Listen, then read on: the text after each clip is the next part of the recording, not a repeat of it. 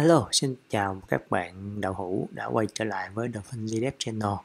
Thì uh, ở những cái video trước mình làm thì có bạn comment là à, cái vẫn là cái bạn uh, hai do nguyên á thì bạn đó comment là mình nên làm một cái video giới thiệu về à, uh, Go module. Um, thì mình thấy nó cũng rất là hợp lý thôi, tại vì cái đó cũng khá là hay khi mà các bạn làm việc nhiều với uh, cái goal này rồi á. Và đặc biệt là làm việc team á. À, thì ờ, sẽ sẽ nếu mà không không sử dụng cái Go nó sẽ sẽ gặp cái vấn đề là rất là rắc rối khi mà các bạn đụng tới cái những cái thứ gọi là goal dependency. Có nghĩa là um, bạn sử dụng cái thất vật ti bên ngoài những cái thư viện mà người khác viết bên ngoài người ta đưa lên GitHub chẳng hạn. Các bạn go get về các bạn xài.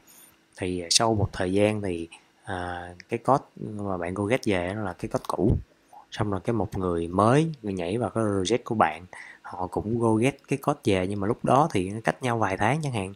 Thì à, cái code mà ở trên GitHub đó là, lại là một cái code mới hơn. Chẳng hạn vậy. Thì à, làm cho cho cái ừ, có thể là họ thay đổi một vài cái đầu hàm gì đó ờ, cái function họ đổi tên chẳng hạn. Thì làm cho cái việc mà dependency, hai cái hai cái code Ờ, mặc dù cái code của mình nó nó không thay đổi chỉ là do cái thư viện bên ngoài thay đổi thôi cái dependency nó bị thay đổi. Là làm cho cái ờ, cái project của mình nó gần như là nó bị rối lên luôn. Thì ờ, để giải quyết cái vấn đề đó thì uh, mình sẽ uh, sử dụng cái gọi là cái Go module để giải quyết cái vấn đề dependency. Thì cái Go module nó nó làm cái gì? Thật ra là khi mà mình init cái project lên thì mình sẽ uh, cho nó là một cái module. Mình sẽ init nó thành một cái module và có một cái file à, sẽ nó sẽ tự động tạo ra một cái file để mà quản lý dependency trong đó. Um, thì uh, trong quá trình bạn làm bạn go get về thì nó sẽ lưu lưu lại uh, những cái dependency những cái những cái version mà bạn uh, version của dependency đó mà bạn đang sử dụng. Ờ, để mà nếu mà có một cái người khác họ vào họ làm chung dự án với mình hoặc là họ sử dụng cái cái code của mình cái module của mình thì ừ, cái go module đó họ, lúc mà họ ghép về họ tự động sẽ ờ, uh, go ghép về đúng cái version mà cái module của mình uh, nó cần cần có để chạy. Thì nó sẽ không có bị conflict những cái dependency với nhau đó thì cái cái mục đích mà của con module nó đẻ ra là như vậy. Và cách sử dụng nó thì cũng rất là đơn giản không có gì phức tạp đâu ha. Bây giờ mình lấy sẵn sẵn mình có một cái code đang đang làm cái code demo về ờ, uh, gRPC thì à, nó cũng có một vài cái dependency trong đó. Thì mình sẽ lấy cái này ra để mình làm uh, ví dụ cho cái ờ, uh, Go module của mình luôn. Thì bây giờ trong cái code uh, của mình code giả sử là code server của mình đi thì uh, mình sẽ thấy cái phần import của mình nè. Mình có import cả uh, Google Golang gRPC đó. Thì uh, làm sao để mà mình uh, cái project đang sẵn có của mình hoặc là một cái project mới cũng được. Thì làm sao để mình sử dụng cái Go module? Thì mình sẽ sẽ ví dụ trong cái server của mình thì cái cái file server.go là cái chính là cái main của mình đúng không? Thì mình sẽ đi vào cái thư mục nào có chứa cái cái file main của mình. À, để cái cái cái cái bucket main của mình á thì để mà mình chạy cái lệnh này à, go mod init. Đây mình đang ở trong thư mục server nha. Mình chạy go mod init rồi các bạn sẽ nhìn vào phía bên tay trái á. Mình để ý cái cây thư mục nó sẽ thay đổi nè. Rồi thì uh, nó báo là đã uh, tạo một cái uh, cái file gomod ở trong cái thư mục này rồi. Giờ mình đi qua bên đây. Đây các bạn thấy không? Nó đã sinh ra được một cái file ờ, uh, gomod ờ, cái module của mình cái đường dẫn là uh, như thế này đây. Thì hiện tại nó chưa có cái dependency nào cả. Chỉ có dependency duy nhất là nó đang chạy uh, Go version 1.14 hay là cái Go Go hiện tại đang cài trong máy của mình á. Là 1.14 thì uh, để mà bắt đầu nó nó lấy dependency nó nó nó collect những cái dependency hiện tại để chạy được thì um, mình có nhiều cách. Một là mình sẽ chạy go run. Ở trong đây mình chạy go run. Go run hoặc là go build hoặc là go test. Go test đó test đó à, go run cũng được go build cũng được ha hoặc là go go test cũng được đó. nếu mà mình, trường hợp mình có test case, đó. mà thường thì nếu mà trong những dự án các bạn làm thì khi mà các bạn bắt đầu chuyển qua xài Godon á, thì các bạn nên có test case để mình test lại cái trường hợp là dependency của mình lúc mà mình thay đổi dependency mình chạy lại bộ test case coi nó có hoạt động đúng không, hoặc là để thay đổi dependency xong cái là những cái function mình nó chạy không được nữa, chạy sai mục tiêu, chẳng hạn vậy thì ở đây mình có thể chạy go run cũng được, ha À, go. Server.go đây thì bắt đầu khi mà các bạn à, à, chạy gorin á lệnh gorin á thì nó không không giống như lúc trước là nó chỉ chạy thôi. Đằng này nó bắt đầu nó cái nó bắt đầu nó sẽ có những cái lệnh mà đi tìm những cái module mà mình đã import. Mình đã import vào. Đó. mình đã import vào. Đó đó. thí dụ như mình ở đây là mình nó đã thấy được cái Golang grbc uh, ờ, hiện tại là v 1.29 nè. Đó thì uh, nó nó đã thấy rồi. Nghĩa là lúc trước mình đã go get về rồi đó. Thì nó thấy rồi đó. Còn đây là những cái code mà uh, gọi là internal trong cái project của mình mình import đó thì bây giờ mình mình mình xem nè. Trong cái cái file go mode đó bắt đầu nó đã có những cái requirement. Ha những cái require. Require này chính là những cái dependency của mình.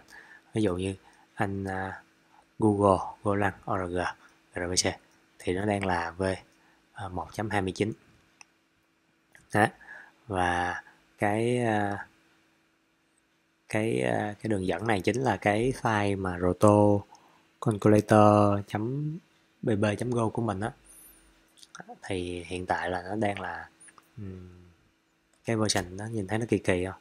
Nó là v0.0.0.0 là gạch. Thì cái này nó là gọi là một cái ờ, uh, Bastille uh, ờ, version gì đó nghĩa là cái version mà đánh dấu giả đánh dấu bằng một cái uh, cái một cái commit một cái cái một cái gọi là cái cái định danh lúc mà mình commit cái file thôi nó nó không được tắt cái version ở đây nó chưa được tắt cái version nên nó không có version cụ thể. Và nó định danh bằng cái commit của mình. Commit lúc mà mình boot git chẳng hạn vậy đó thì nó là cái, cái, cái lấy cái tên commit đó để mà định danh cái version ở đây. Thì đó thì bây giờ vậy là mình đã coi như là mình đã init xong được cái ờ, go run của mình. Thì mình mở ra cái qua cái file go sum go chấm sum á các bạn sẽ thấy nè là nó sử dụng những cái dependency mình mà mình cần để mà mình có thể à, chạy được cái cái project của mình rồi cái cái module của mình. Đó thì à, nó không không ít ha. Mặc dù này nó cũng đã ít rồi nhưng mà thực tế là nó, nếu mà các bạn nhìn sâu vô để chạy được để chạy được cái gRPC thì nó đã import cả nồi uh, cái dependency này vô rồi mình mới có thể chạy được. Đó thì đó là cách để mà mình init cái Go module trong cái project của mình đó. ngoài ra thì nó ờ, còn một số cái lệnh ha. Sorry sorry quên tắt. Quên tắt. Chơi chơi bời quên tắt. Đó thì các bạn thấy nè uh, go build test go run thì nó thì nó sẽ chạy và nó nó tự động nó collect những cái import của mình để mà nó đưa vào cái trong cái cái file ờ, go mod của mình. Đó thì nếu như trong trường hợp mà các bạn uh, chạy cái lệnh mà go get. Chạy lệnh go get. Dụ như các bạn cần cần thêm một cái property mới cần thêm một cái thư viện mới gì đó trong cái code của mình thì mình sẽ đứng ở ngay cái thư mục. À, nên nhớ là là mình lưu ý là mình đứng ngay cái thư mục ờ, mà có chứa cái file go mod này. Rồi mình chạy go get. Thì nếu như nó chưa có đó, nếu như mà nó nó nó nó chưa hề có trong cái requirement này thì à, trong trong những cái require dependency này á thì nó sẽ thêm vào nó thêm mới vào. Còn nếu mà đã có rồi thì có thể là nó sẽ bạn bạn bạn go get cái version khác cái version hiện tại á, thì nó sẽ à, thay đổi cái version có nghĩa là mình update cái version ở trong cái Go, cái Go module của mình. À, thì mình sẽ chạy lệnh Go get. Còn ngoài ra thì à, nó sẽ có cái là uh, Go mod tidy nghĩa là nó sẽ dọn dẹp những cái dependency mà mình không sử dụng nữa trong trường hợp ví dụ như các bạn đã có thể là bạn ghét một cái thư viện gì đó về các bạn à, chạy thử nhưng mà cảm thấy nó không sử dụng được các bạn xóa đi. Đó, thì à, các bạn sau khi bạn clean code đi rồi xóa hết uh, những cái import mà mà mình đã đã thêm vô nghĩa là không còn import đó nữa các bạn chạy lại các bạn go build go run lại thì cái uh, go module cái file go mod của mình nó sẽ cũng sẽ không thay đổi. Và các bạn muốn thay đổi muốn xóa nó đi á, thì các bạn sẽ chạy go mod daily. À, chạy cái lệnh này. Thì à, thật ra là trong cái trường hợp mà các bạn mới à, mới init cái à, đây bây giờ ví dụ như bây giờ mình hoàn toàn mình có thể xóa cái này đi ha. Mình ví dụ lại trong trường hợp mà bạn mới cái init lên cái cái go module luôn go mod init luôn mới chạy go mod init luôn nó nó tạo ra được cái file go mod cho bạn rồi và chưa có gì trong đây hết giống như như nãy đúng không? Thì các bạn hoàn toàn có thể chạy cái lệnh à, uh, go mod uh, à, đi,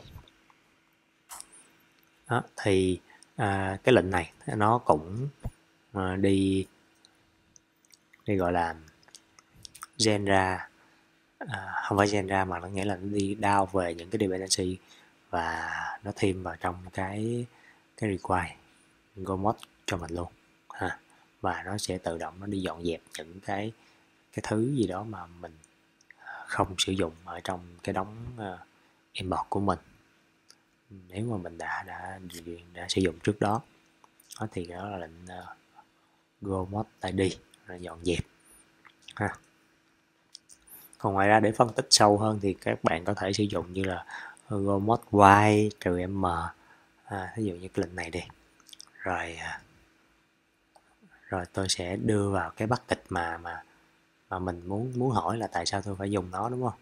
Ví dụ như ờ, tôi ờ, định lệnh này. Đó tại sao tôi phải ờ, sử dụng cái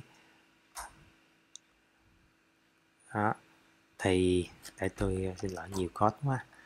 À, rồi chạy lại ha. Rồi go mod y. Thì đây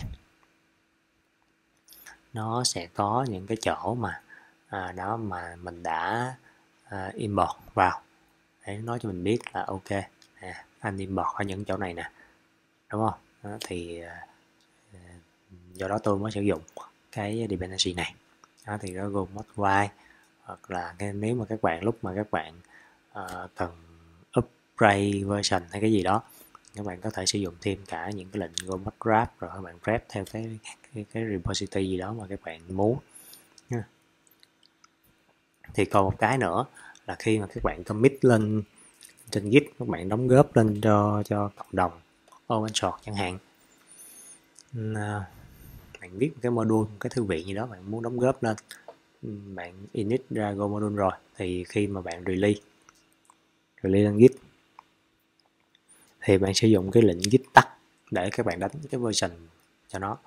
Tại vì nếu mà các bạn không đánh version á thì à, nó sẽ sẽ chỉ có ra được cái cái cái dạng mà à, nó nó nó không được rõ ràng như vậy thôi à, với không với không với không không gì đó thì cái nguyên tắc đánh version đó thì à, nếu mà các bạn đang đang trong giai đoạn beta thì nghĩa là à, v0.1 đúng không? rồi các bạn feedback gì thì là v0.1.1 v0.1.2 rồi v2 v0.2 v0.3 kiểu vậy rồi lên dần. Thì khi mà bạn ra được cái ờ, version stable thì nó sẽ là v1 đó, nghĩa là nếu mà bạn ra được v stable thì nó sẽ là v1 chẳng hạn vậy. Thì đó là cái gọi là cái quy ước đánh version.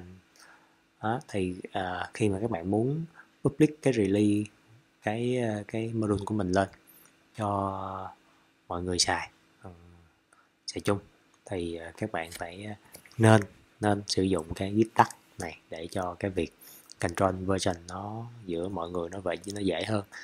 Tại vì à, giữa cái việc mà để cái dòng test dài như thế này so với cái việc mà để chữ v 1.29 như thế này, thì các bạn rõ ràng thấy chữ v 1.29 nó dễ control hơn rất là nhiều. Thì đó, thì bài đầu tiên là git tắt git tắt rồi các bạn gõ cái à, cái tên của cái version mà các bạn muốn à, muốn đánh dấu. Và sau đó là bạn boost lên, boost origin và với cái tắt bạn đã đánh dấu.